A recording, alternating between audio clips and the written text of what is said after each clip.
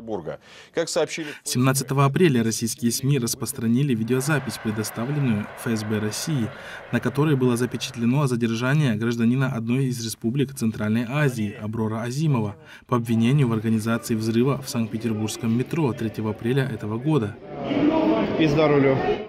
Силовики заявили, якобы Азимов является одним из организаторов теракта.